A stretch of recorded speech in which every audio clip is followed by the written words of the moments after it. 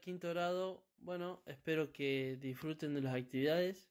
No se olviden de firmarlas y mandármelas o subirlas a la plataforma. Y, y bueno, disfruten, trabajen mucho y diviértanse junto con la familia. Los quiero. Chao, chao.